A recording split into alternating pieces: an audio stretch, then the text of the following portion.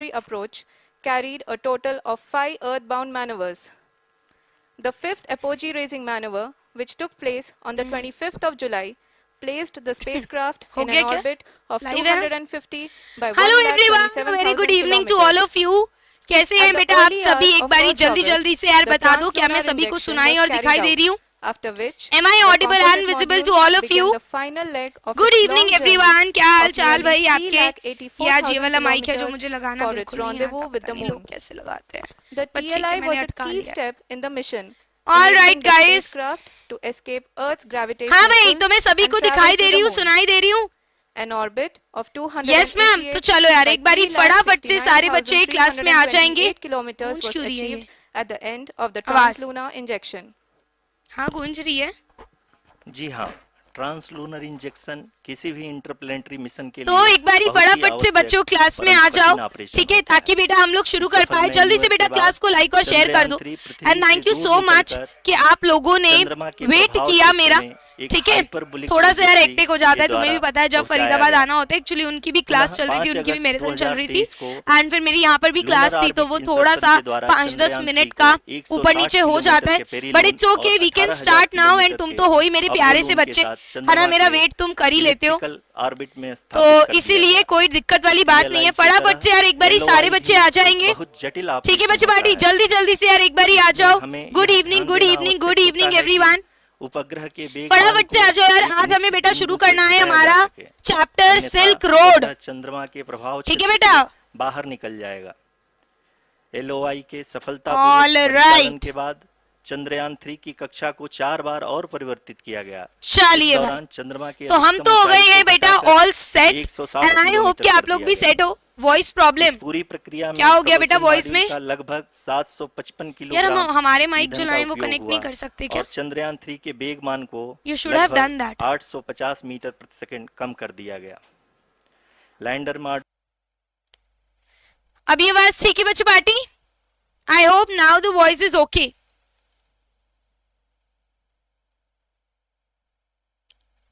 दो वॉइस आ रही है। अभी अभी ठीक है? आई जस्ट चेक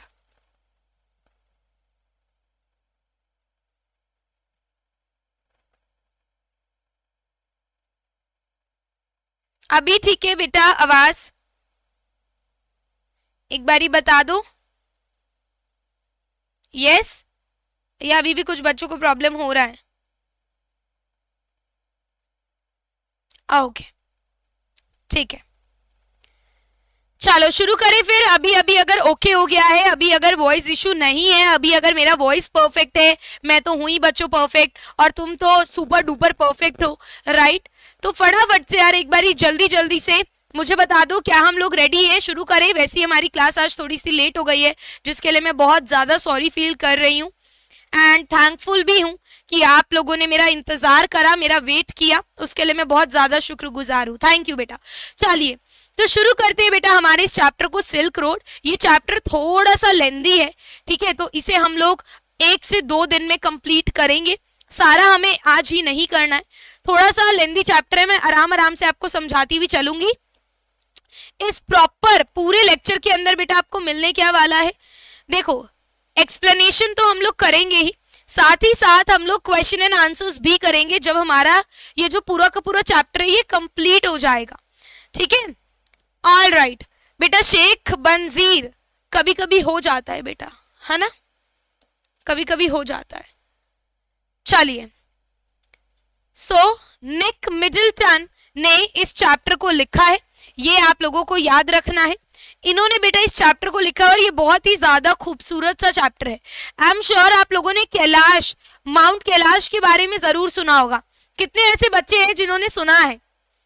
जल्दी से बता दो मुझे एक बार इन द कमेंट सेक्शन तो आई एम डेफिनेटली श्योर कि आप लोगों ने माउंट कैलाश के बारे में ज़रूर सुना होगा राइट right? तो ये जो चैप्टर है, ये किस बारे में, अभी हम देखेंगे। पहले आप ऑथर के बारे में देख लो। So Nick Middleton is a geographer, writer and presenter of television documentaries. He teaches at Oxford University and he was born in London in 1960. ठीक आपको ऑब्वियसली एग्ज़ाम पर्सपेक्टिव से ये सब याद रखने की ज़रूरत नहीं है। आप लोग केवल नाम याद रखोगे उतना भी अपने को चलेगा। ठीक है अब अपन आगे देखते हैं कि ये जो स्टोरी है बेटा ये किस बारे में है? देखो स्टोरी बहुत ज़्यादा इंटरेस्टिंग है। ठीक है काफ़ी ज़्यादा इंटरेस्टिंग है। तो बिल्कुल ध्यान से सुनना एक एक लाइन एक एक वर्ड मैं आप लोगों को समझाने वाली हूँ एंड प्रॉपर श्योरिटी है कि आपको कोई दिक्कत नहीं आएगी। ठीक है? चलो।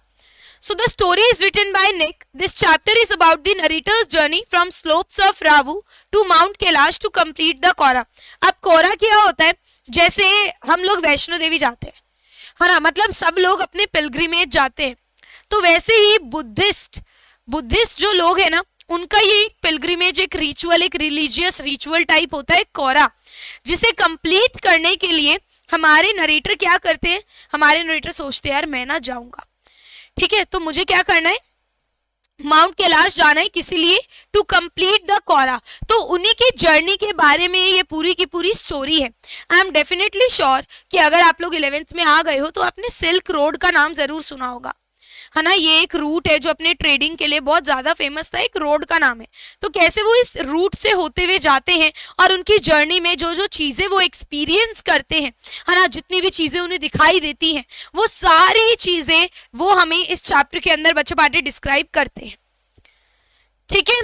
मैम चैप्टर को समझ तो लेते हैं, पर लिख नहीं पाते। बेटा, जब समझोगे क्वेश्चन आंसर्स को याद करोगे और इसके ऊपर से प्रैक्टिस करोगे ना तो ज़रूर लिख पाओगे। केवल सुन लोगे तो नहीं लिख पाओगे। प्रैक्टिस से ही सारी चीज़ें होती हैं। ठीक है मेरी जान? चलो। अब आगे देखो। To bid him to bid him farewell Lhamo gave him a long sleep sheepskin coat he hire set scar for his journey and to Daniel along to escort him to Darchen अभी यहाँ पर यह सब क्या लिखा है आपको समझ में नहीं आएगा क्योंकि ये कैरेक्टर्स हैं। उनके साथ उनका एक फ्रेंड और उनका जो ड्राइवर है वो भी जाता है इस जर्नी में, जो कि हम ऑब्वियसली चैप्टर के अंदर पढ़ने वाले हैं। तो यहाँ से बेटा हमारा पूरा का पूरा चैप्टर शुरू है। शुरू करें। प्लीज़ ध्यान देना, ठीक है? ओके बेटा रिलीजियस यात्रा, है ना? धार्मिक रूप से कोई यात्रा करना। जैसे हमने, मैंने बताया आपको, हम लोग क्या करते हैं? कटरा तक ट्रेन पकड़ के जाते हैं, फिर ऊपर वैष्णो देवी जाते हैं। केदारनाथ जाते हैं कि नहीं जाते? ये सब क्या है? हमारी एक तरीके से रिलीजियस यात्राएँ है ना? धार्मिक यात्राएँ है कि नहीं? आप लोग बताओ। है ना? राइट तो हर एक अलग अलग रिलीजन में अलग अलग यात्राएँ होती हैं। राइट हाँ। चलो। सो so, क्या लिखा है बेटा? आ फ्लॉलेस फ्लॉलेस मतलब विदाउट डिफेक्ट बोलते हैं ना यार कितनी फ्लॉलेस स्किन है।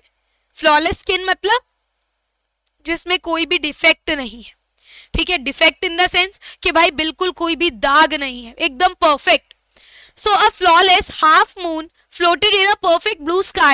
On the morning, we said our goodbyes. Extended banks of cloud like long French loaves. French loaves क्या होते हैं loaves आपको पता है ना क्लास टेंथ में हमने चैप्टर पढ़ा था ग्लिम्सेस ऑफ़ इंडिया तो ब्रेड को बोलते हैं ब्रेड ग्लोड ग्लोड मतलब शाइन करना। सारे डिफ़िकल्ट वर्ड का मीनिंग ना बेटा मैंने साथ में ही लिख दिया ब्रैकेट में, ताकि आप बच्चों को कोई भी प्रॉब्लम ना फेस करना पड़े। ठीक है? Glowed pink as the sun emerge emerge मतलब निकलना।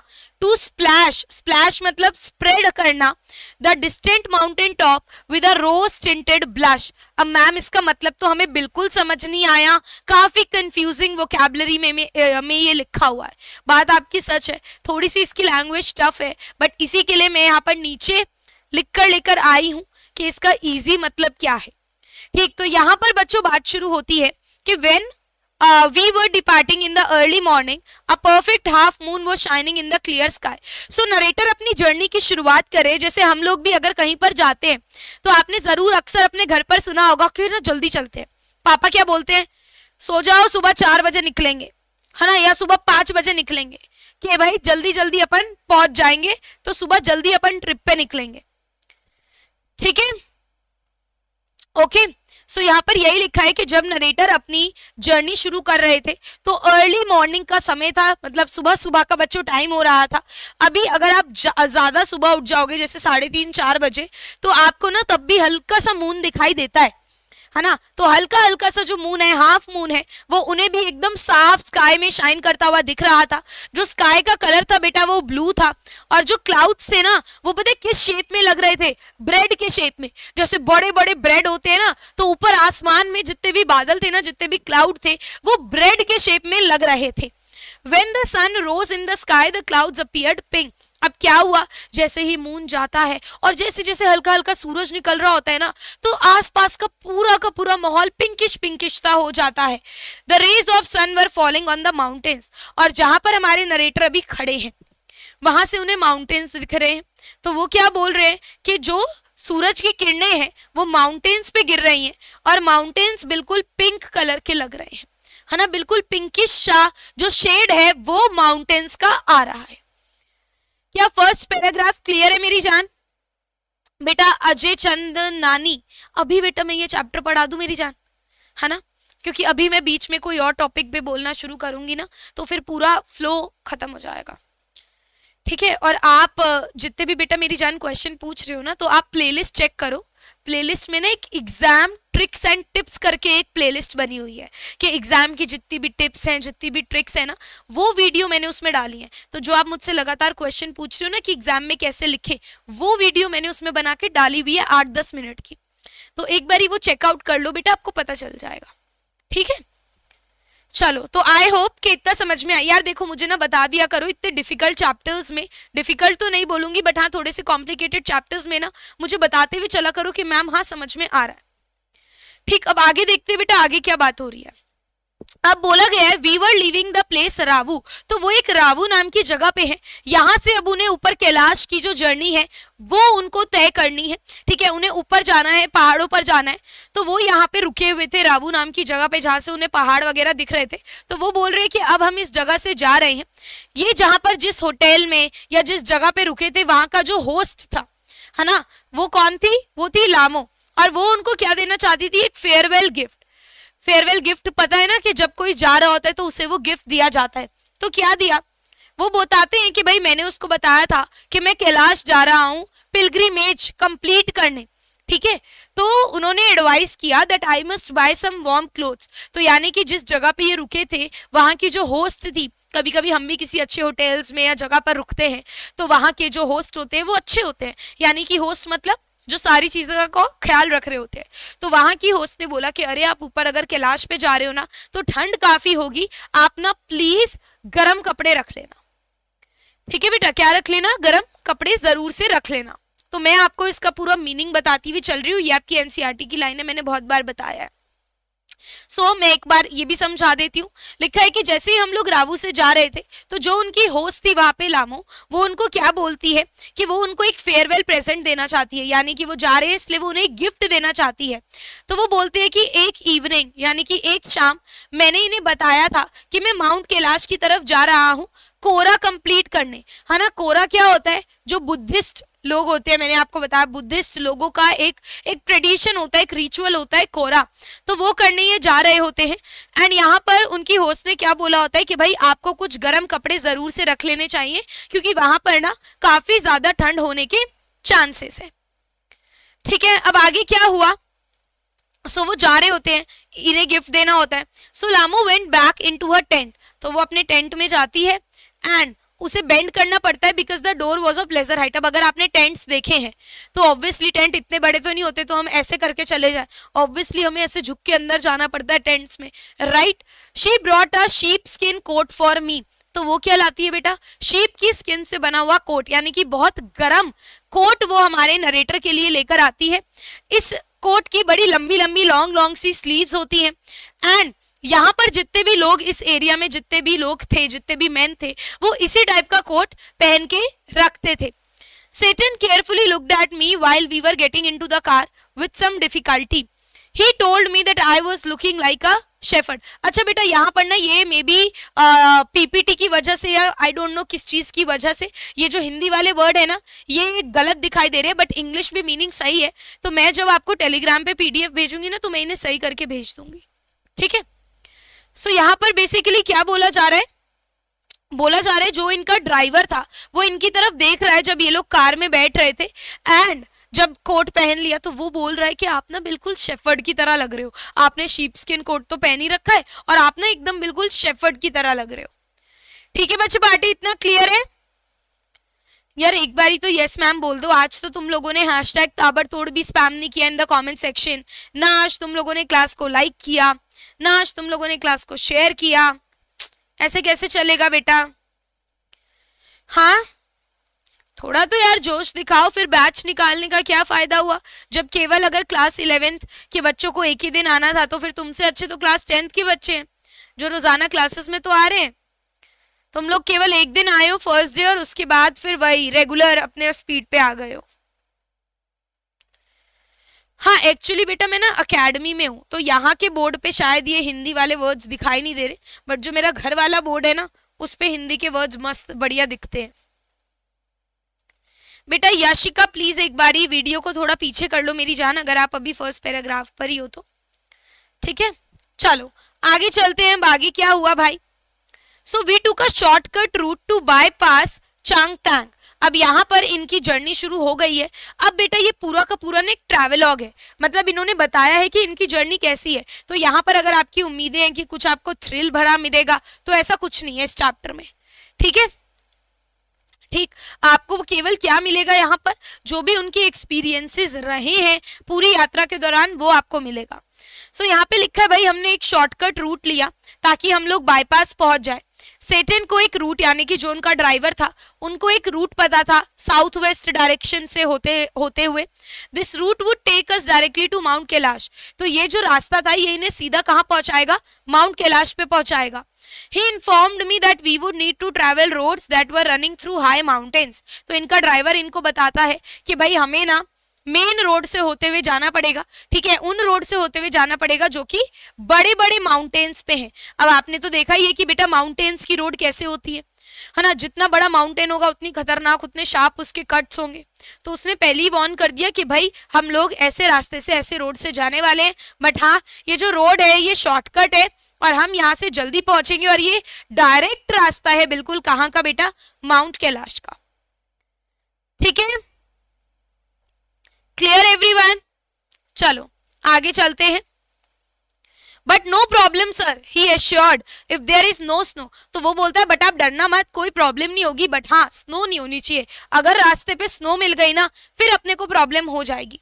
ठीक है? बट अगर कोई स्नो नहीं होगी तो मतलब कोई डिफिकल्टी हमारे रास्ते में नहीं आएगी। I ask him what the possibility of snow was तो वो लाइकलीहुड मतलब क्या? पॉसिबिलिटी संभावना। तो हमारे नरेटर पूछते हैं कि वैसे क्या संभावना है कि स्नो मिल सकती है कि नहीं हमको वहाँ पर? ठीक है? तो वो बोलता है कि सर मुझे नहीं पता ये तो वहीं जाकर हमें पता चलेगा कि हमें स्नो मिलती है या नहीं. अब आगे क्या हुआ बेटा? From the gently rolling hills of Ravu, the shortcut took us across vast open place with nothing in them except a few gazelles. ये क्या होता है बेटा? ये एक जानवर है। ठीक है तो ध्यान से सुनते जाना बेटा ये कौन है? ये एक अफ्रीकन एशियन मैमिल है जिसकी बड़ी बड़ी आँखें होती है एक जानवर है। That would look up from nibbling the arid pastures and frown before bounding away into the void. अब यहाँ पर बेटा इस पूरे पैराग्राफ का क्या मतलब है, हम यहाँ समझेंगे। तो यहाँ पर बोला जा रहा है कि भाई हम रावू से निकले और उसके बाद बाद हम लोग हिल साइड से निकल के एक प्लेन एरिया पे आ गए। अब आपने भी देखा होगा जब आप माउंटेन्स पे ट्रैवल करते हो तो बहुत बार आपको ऐसा लगता है कि आप प्लेन एरिया में आ गए हो, फिर बहुत बार आपको लगता है आप हिल्स पे हो। कभी आपके साथ ऐसा हुआ है? जल्दी जल्दी बताओ। कभी आपके साथ ऐसा हुआ है कि आप लोग हिल्स पे ट्रैवल कर रहे हो, ठीक है? एंड आपको लग रहा है कि हाँ भाई, अभी हम ऐसे ऐसे गोल गोल घूम रहे हैं, हम लोग माउंटेन्स पे हैं, है ना? और फिर एकदम से आप लोग देखते हो कि यार, नहीं, अब तो हम प्लेन एरिया में आ गए राइट right? तो इनके साथ भी वही हो रहा है कि भाई, ये एक बड़े से प्लेन एरिया में पहुँच जाते हैं, जो कि माउंटेन के बीच ही होता है। अब वहाँ पे कुछ जानवर इन्हें दिखाई देते हैं, जो वहाँ चल रहे होते हैं ग्रेस कर रहे होते हैं। Slowly they were slowly eating the dry grass of the pasture तो आपने देखा भी होगा, आप इमेजिन भी कर सकते हो अपने दिमाग में कि भाई जस्ट जब भी हम लोग हिल साइड जाते हैं तो हमें वहाँ पर दिखते हैं कुछ जानवर जो क्या कर रहे होते हैं, अपनी फील्ड्स में घास खा रहे होते हैं। तो यहाँ पर ये भी यही कर रहे थे। They would slightly distort their face before running away in the open space कहने का क्या मतलब है? कि वो जरा सा हमें देखते, अजीब सा मुँह बनाते और फिर उसके बाद एक खुले मैदान में, एक ओपन स्पेस में भाग जाते। नेक्स्ट देखो क्या बात हो रही है? अब आगे क्या हुआ? वो बोलते हैं कि भाई हम वहाँ से निकले वी मूव्ड अहेड अब जो फ़ील्ड है ना, वो आगे आगे ऐसी होती जा रही थी स्टोनी यानी कि जो ग्रास वाला साइड है ना, अब कम होता जा रहा था। ठीक है तो वो बता रहे हैं कि भाई अब हम आगे जा रहे हैं तो रास्ते पर ना अब हमें ग्रास नहीं दिख रही। ग्रास वाला जो पार्ट है, वो अब बेटा कम कम होता जा रहा है। The field has now lesser glass grass sorry only stone surface but now visible in the field अब फ़ील्ड में केवल क्या दिख रहे हैं? पत्थर ही पत्थर दिख रहे हैं। ज़मीन ही ज़मीन दिख रही है। घास नहीं दिख रही। अब इन्हें क्या दिख रहा है बच्चों? अब इन्हें एक और वाइल्ड एस यानी कि एक और एनिमल इनको दिख रहा है who have ears shorter than a horse and smaller in size तो अभी एक डिफरेंट टाइप ऑफ़ एनिमल के बारे में बता रहे हैं कि भाई जब हम घास वाली साइड को पीछे छोड़ाए थोड़ा सा स्टोनी एरिया आ गया तो वहाँ पर हमको अब ये अलग टाइप का जानवर दिख रहा है और जो हमारा ड्राइवर है, वो हमें बताता है कि we were approaching them long before they appeared कहने का क्या मतलब है बच्चों के Satan told us that the herd has so far not seen us. We reached the field before the herd could see us. तो उनका ड्राइवर उन्हें पहले से ही बताता हुआ चल रहा था कि अब आगे आपको ये मिलने वाला है, आगे आपको ऐसा मिलने वाला है क्योंकि वो वहाँ का लोकल है, उसे वहाँ का पता है राइट right? तो वो यहाँ पर यही बोल रहे हैं कि भाई जो हमारा ड्राइवर है, उसने हमें क्या बताया? That we were approaching them कि भाई हमें आगे ये वाले टाइप के जानवर मिलने वाले हैं एंड हमें वो अभी तक दिखे भी नहीं थे, पर हमारे ड्राइवर ने हमें पहले ही इन्फॉर्म कर दिया था कि आगे हमें रास्ते में ये दिखने वाले हैं। ठीक है बच्चे पार्टी? चलो मेरी जान, आगे बढ़ते हैं। अब आगे देखो क्या हुआ। यहाँ पर मैंने डिफ़िकल्ट वर्ड मीनिंग्स भी लिख रखे हैं। अगर आपको नहीं आते तो? यार। Sunday special. You want me to type in the middle of the class. Just give me a second, guys.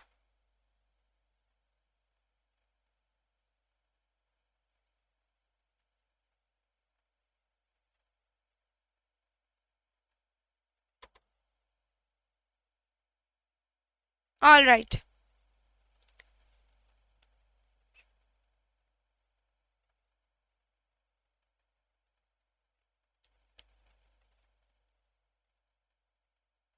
चलो। राइट right, अब आगे क्या हुआ? क्यांग ही सेड ये क्या है बेटा? ये भी एक तरीके का जानवर है wild ass of Tibet region ठीक है? तो तिब्बत के रीजन में एक तरीके का जानवर मिलता है उसे बोला गया है। He said pointing towards a far off pall of dust pall of dust का मतलब क्या है? कभी आपने देखा है कि नीचे ही मान लो आप ऐसे इमेजिन कर लो कि बहुत सारे सांड हैं। ठीक है? और वो भाग रहे हैं। अब अगर बेटा वो भाग रहे हैं तो आप सोचो अगर डस्ट है तो नीचे धूल ही धूल हो जाएगी। राइट ऐसे लगेगा कि धूल के बादल बन गए हों। इमेजिन कर पा रहे हो थोड़ा सा उसे बोलते हैं पॉल ऑफ़ डस्ट क्लाउड और layer of dust in the sky कि वो इतनी ज़्यादा डस्ट हो जाती है कि पूरा ऊपर पूरा डस्ट से भर जाता है। When we drove near I could see the herd galloping ये क्या होता है? रनिंग क्विकली तेज तेज भागना. कैसे भागना? टुगेदर एक साथ भागना. Wheeling and turning in tight formation as if they were practising manoeuvres यानी कि मूवमेंट यहाँ पर लिखे हुए difficult word meanings on some predetermined course, plumes of dust मतलब again clouds of dust billowed मतलब appeared into the crisp clean air. अब यहाँ पे बेटा इस पूरे में क्या बात हो रही है, उसे हम यहाँ देखेंगे। अभी क्या हमारे नरेटर हमें बता रहे हैं कि भाई जो हमारा ड्राइवर है, उसे ना बहुत दूर से ही क्या दिख गया था, एक क्लाउड ऑफ़ डस्ट दिख गया था, यानी कि बहुत सारी डस्ट उसको काफ़ी दूर से ही दिखाई देने लग गई थी। ठीक है, हम लोग अभी काफ़ी दूर थे बट उसे दूर से दिख गया था कि अरे, बहुत डस्ट है, यानी कि यहाँ पर तो भाई वो जानवर जो स्पेसिफिकली यहाँ रहते हैं वाइल्ड एस वो वाले जानवर यहाँ पर है। So he called it kiang और उसे क्या बोला उसने? Kiang When we came near the plain area, we saw a herd of wild asses that was running together. तो बोलता है कि जब हम जैसे जैसे पास आए हमने देखा कि भाई ये जो वाइल्ड जानवर वहाँ के थे ये लोग इकट्ठे भाग रहे थे एक साथ भाग रहे थे। सारे के सारे जो जानवर है वो एक दूसरे से बहुत ज़्यादा क्लोज होकर भाग रहे थे। और ऐसा लग रहा था जैसे मान लो कि कोई ग्रुप है, वो क्या कर रहा है कि एक्सरसाइज कर रहा है प्री डिटरमाइंड मैनर मतलब प्री डिटरमाइंड मतलब जो पहले से ही निश्चित कर लिया हो, है ना? जैसे पीटी पीरियड में हमारे सर हमें लेकर जाते थे, मुझे याद है स्कूल पे। पहले से हमें पता होता था, हमें वहाँ जाके क्या करना है है ना? सारे बच्चे ऐसे one two three four five ऐसे हम करते थे। और आज तो मैं यूँ कर भी रही हूँ। वहाँ पे पीटी पीरियड में पता नहीं हमको क्या मौत आ जाती थी, हम करते ही नहीं थे। हमारे हमें लगता था अरे पीटी पीरियड अरे यार। ऐसे हमारे एक्सप्रेशन होते थे है ना? और वो एक्सरसाइज होती है ऐसे मतलब जो आ, हमारी असेंबली होती थी उसमें भी हमसे एक्सरसाइज सिखा रखी थी पहली बच्चों को। और अगर सिखाई भी नहीं है ना तो दूर एक पीटी सर खड़े होते हैं यूँ। और आगे मान लो कोई और टीचर खड़ा वो पीछे से यू करते रहते हैं ताकि हम उन्हें देखते हुए करते रहे ठीक है? तो वो एक्सरसाइज एक्सरसाइज एक्चुअल में कैसी होती है ऐसे? One two three four five six seven eight आज मुझे करने में मज़ा आ रहा है बट तब हम पता कैसे करते थे?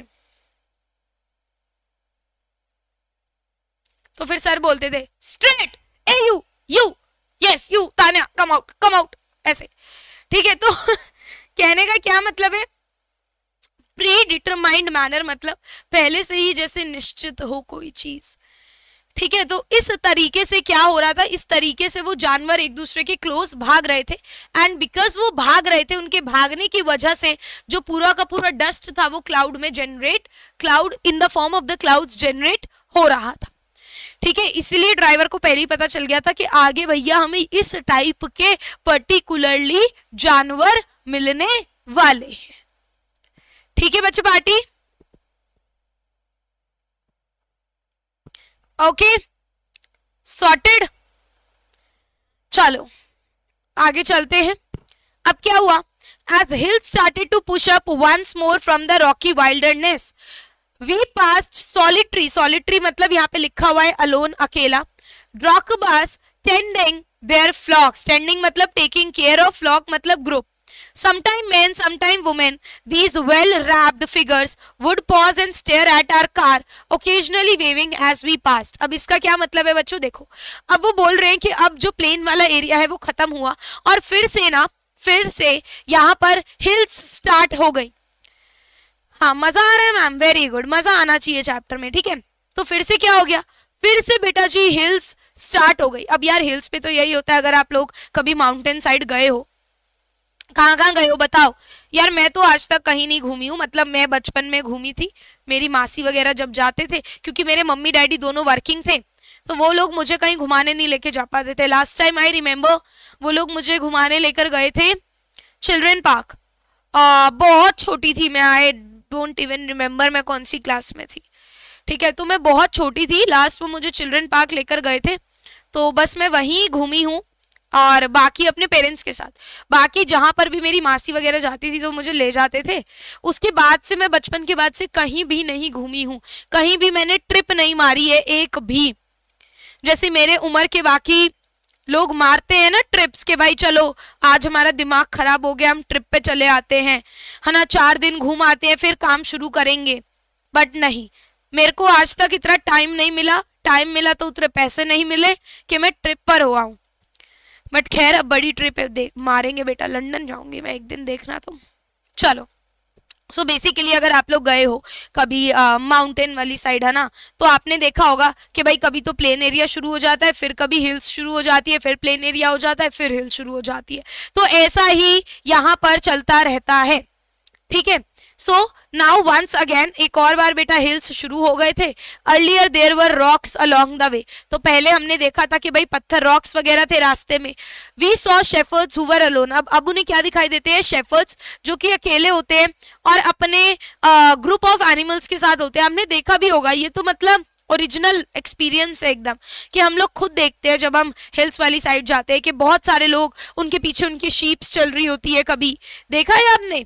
उनके हाथ में एक स्टिक सा होता है गडरिए टाइप है ना? तो ऐसा सा माहौल उन्हें देखने मिला। अब इनमें औरतें भी थी, आदमी भी थे जो अपने ग्रुप का ख्याल रख रहे थे। उन्होंने अपने आप को फुली कवर कर रखा था वार्म क्लोथ्स के साथ, क्योंकि ठंड ऑब्वियसली माउंटेन साइड पे बहुत ज़्यादा होती है।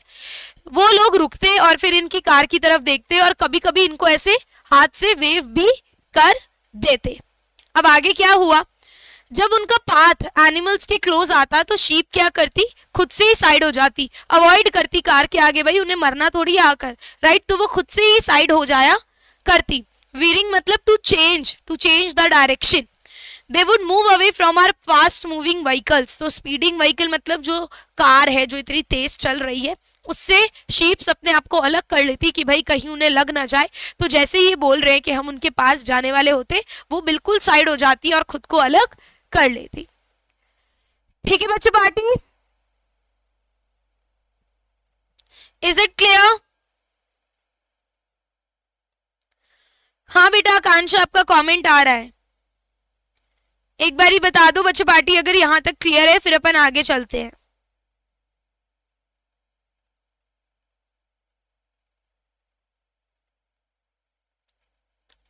मुझे तो लगता है इस क्लास में बच्चों को पढ़ने से ज़्यादा इंटरेस्ट ये होता है कि बाकी बच्चे गर्ल हैं कि बॉय हैं। वो अभी तक यही इसी से नहीं बाहर आ पा रहे हैं कि ऐसे सिल्क रोड तक पहुँचेंगे। चलो वेरी नाइस ठीक है।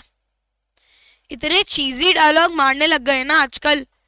पंद्रह सोलह साल के बच्चे सही में इतने चीजी डायलॉग तो बेटा जो 24-25 साल के लड़के हैं ना, वो भी नहीं मारते लड़कियाँ पटाने के लिए जितने तो तुम मार लेते हो। मेरी ज़िंदगी खत्म होने वाली है, बस अभी तुम कुछ करो तो मैं बचूं। अरे भाई साहब गिव मी अ ब्रेक पढ़ लो बेटा, ये पेपर में आएगा, ये ज़िंदगी बनाओ अपनी। पता नहीं किससे क्या बोल रहे हो करने के लिए। दिमाग ही खराब हो गया है। आ जाओ बेटा इधर। चलो, आगे बढ़ते हैं। अब आगे वो क्या बता रहे हैं?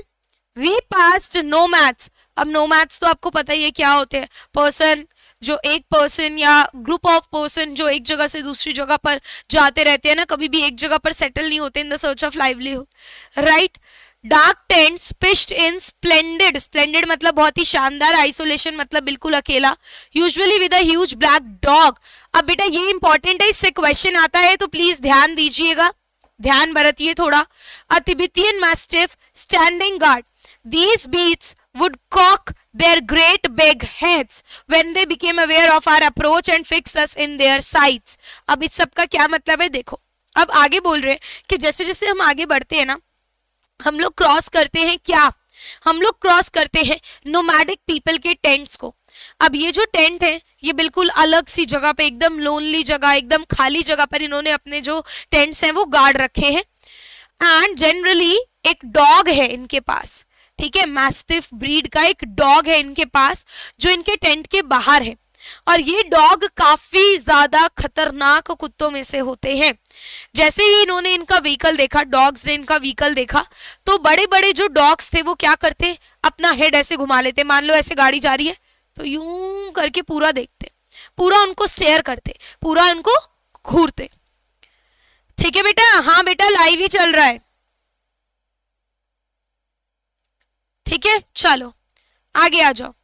अब वो क्या बोल रहे हैं? जैसे ही हम उनके पास जाते, जैसे ही हमारी गाड़ी उनके क्लोज जाती they would suddenly start running towards us वो लोग क्या कर देते? हमारी गाड़ी की तरफ़ पूरे स्पीड के साथ भागना शुरू कर देते। आपने देखा भी होगा, जैसे एक बार की बात है, रात में मैं और मेरा भाई आइसक्रीम लेकर आ रहे थे तो हमारी बाइक के पीछे कुत्ते पड़ गए। ठीक है, अब भाई वो कैसे बचे हमें ही पता है बट जब वो पीछे पड़ जाते तो बहुत ज़्यादा बंदा पैनिक कर लेता है राइट तो वो तो सोचो नॉर्मल हमारे लोकल डॉगी थे टॉमी टाइप बट ये तो अलग ही ब्रीड के डॉग्स है, बहुत बड़े डॉग्स है। और ये क्या कर रहे हैं? उनकी कार के पीछे भाग रहे and they used to run very very fast बोला गया like a bullet from a gun जैसे एक गन से एक बुलेट निकलती है ना, गोली निकलती है, बिल्कुल।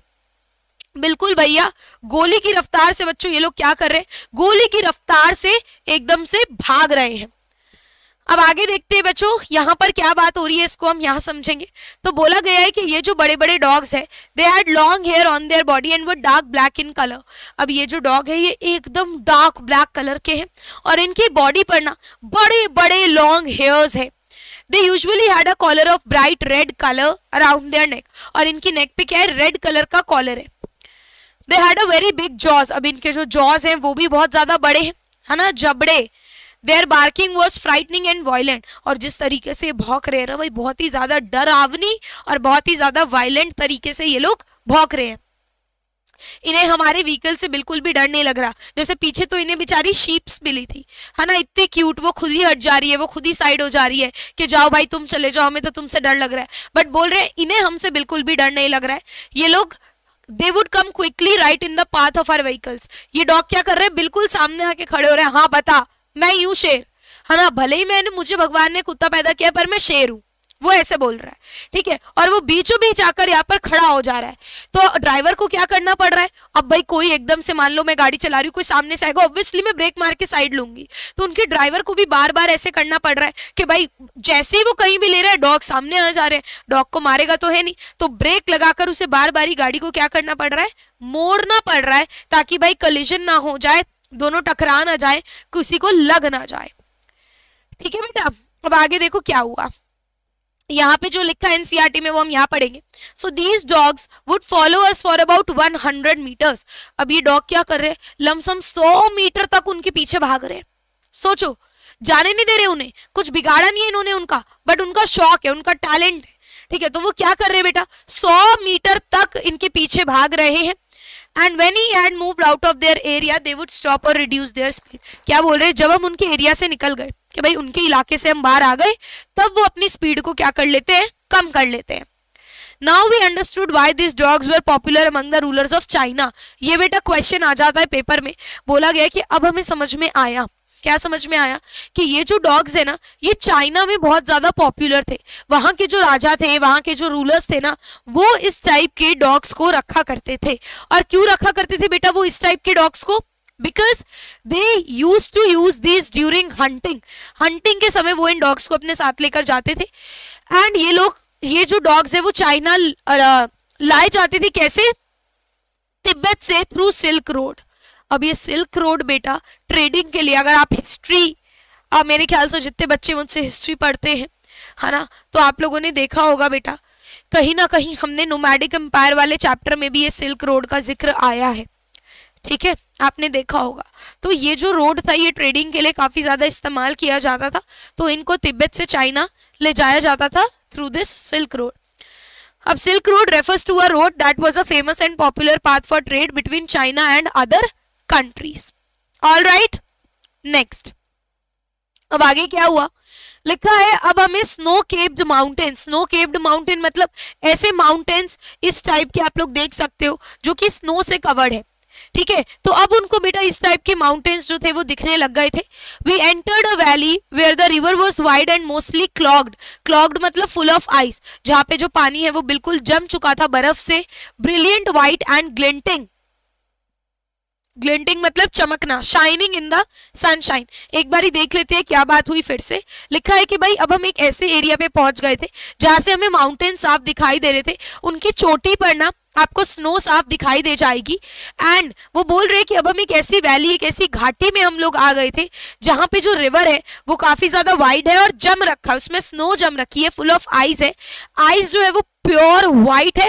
और वो शाइन कर रही है। क्योंकि सन उस पर पड़ रहा है, जब भी सन बेटा आइस पे पड़ता है तो आइस क्या करती है? चमकती है शाइन करती है। ठीक है clear all right so I hope यहाँ तक आपको चैप्टर समझ में आ रहा है। अब आगे क्या हुआ बच्चों, देखो ट्रेल मतलब होता है रास्ता पाथ यहाँ पर आप देख रहे हो ना ट्रेल लिखा हुआ है है ना? The trail hugged its bank so trail मतलब रास्ता हग मतलब क्या होता है? बहुत ज़्यादा पास। ट्विस्टिंग विद द मियंटर्स ये क्या होते हैं? रिवर्स के जो ट्विस्टिंग पाथ होते हैं, जिसमें बहुत सारे कर्व होते हैं ना बेटा, उन्हें बोलते हैं। तो यहाँ पर बात की और से समझते हैं। हमारे नरेटर बोल रहे हैं कि अब जो उनका रास्ता था ना, वो बहुत ज़्यादा क्लोज हो गया था टू द रिवर बैंक ठीक है? The river and the path had many curves वो वाले रास्ते भी आप लोगों ने डेफिनेटली देखे होंगे कि रिवर भी साथ साथ चल रहा है, रास्ता भी साथ साथ बना हुआ है। Right right? हाँ कि नहीं? बताओ, देखा है कि नहीं? कि भाई रिवर भी साथ साथ चल रहा है और तुम्हारा रास्ता भी साथ साथ चल रहा है। और बहुत सारे कर्व्स आ रहे हैं। बहुत बार वो रास्ता कट रहा है। ठीक है? Gradually we were moving to higher region अब वो धीरे धीरे क्या हो रहा है? माउंटेन पे ऊपर की तरफ़ जा रहे हैं। Side of the valley was now closer to us meaning that on इधर side of path we had mountains अब क्या हो रहा है? अब वो ऐसे रास्ते पे है जहाँ पर इधर भी माउंटेन्स है और उनके इधर भी माउंटेन्स है। तो अब वो क्या कर रहे हैं? बिल्कुल माउंटेन के बीचों बीच चल रहे हैं ट्रेवल कर रहे हैं। आगे देखते हैं। अब बेटा जो रोड के टर्न्स है ना, वो अब शार्प हो रहे हैं। आपने देखा होगा। कुछ माउंटेन्स पे रोड चौड़ी होती है। तो आप आराम से टर्न कर सकते हो। कुछ के जो कट होते हैं ना, वो बहुत ज़्यादा शार्प होते हैं। जैसे मुझे अभी भी याद है आई गेस ये मनाली की बात है मेरे ख्याल से। मुझे शिमला या मनाली पता नहीं। मैं छोटी थी तो हम लोग एज यूजल मासी के साथ बाहर गए हुए थे। हमारे साथ और दो तीन फैमिलीज़ भी गई हुई थी। और ना बहुत ज़्यादा बारिश हो रही थी। ठीक है? तो अब हुआ क्या कि हम यहाँ से खाना खा के तो निकले तो ना थोड़ी आगे जाकर दो रोड थी, एक इधर और एक ऐसे जा रही थी। तो क्योंकि बहुत बारिश हो रही थी तो हमें ना ये वाली रोड दिख नहीं रही थी कि ये आगे रोड है ही नहीं, आगे खाई है।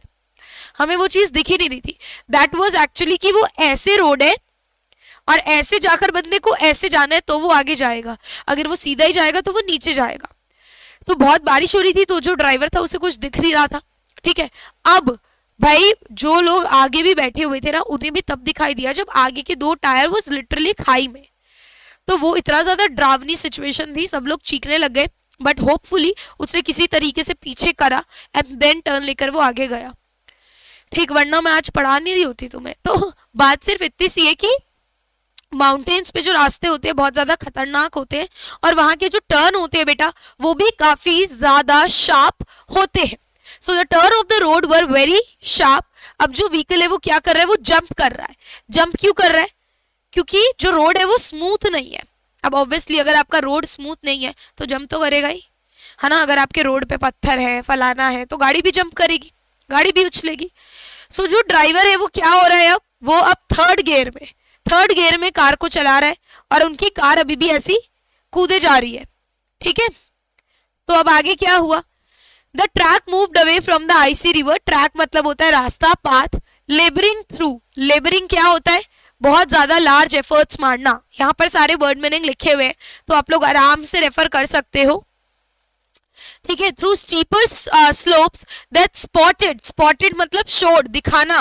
Big rocks doped with the patches of the bright orange lichen beneath the rocks hunks of snow hunk मतलब pieces of snow clung on in the near permanent shade अब यहाँ पर बेटा जी क्या बात हो रही है, इसको अपन यहाँ समझेंगे। अब वो बोल रहे हैं कि हम लोग रिवर से थोड़ा दूर हो गए, है ना? हम लोग आगे आ गए। Now we moved away from the river and बहुत ज़्यादा डिफ़िकल्ट हो रहा था रोड पे ड्राइव करना, क्योंकि जो रोड है वो अब बहुत ज़्यादा पतली होती जा रही थी। ठीक है? अब भाई क्या हो रहा है? रास्ते में हमारे पत्थर भी आ रहे हैं रॉक्स भी आ रहे हैं। ठीक है? आपने देखा होगा ट्री के ऊपर ना एक अलग patches of green green colour के ग्रो होना शुरू हो जाते हैं। तो उन्हें साइड पे वो वाले प्लांट्स भी दिखाई दे रहे हैं। अब उन्हें ऐसा लग रहा था कि भाई कुछ तो पोर्शन ऑफ़ रॉक ऐसा है जिसपे कभी ना सनलाइट शायद पड़ती ही नहीं है। तो on this part of row rock snow had formed permanently यहाँ पे परमानेंटली स्नो जम रखी है। यहाँ पर शायद कभी सनलाइट पड़ती ही नहीं है। ऐसा उन्हें लग रहा था। और उनका रास्ता अब बच्चों आगे आगे जैसे बढ़ रहे हैं तो बहुत ही ज़्यादा उनका रास्ता अब खतरनाक होता जा रहा है। ठीक है? ऑल राइट अब क्या हुआ बच्चों? Now the pressure in my ear was increasing अब जैसे जैसे आप हाइट पे जाते हो राइट right? तो जो प्रेशर होता है कानों में वो बढ़ने लगता है। ठीक है ना? सुन हो जाते हैं कान नम हो जाते हैं बहुत सारे लोगों के।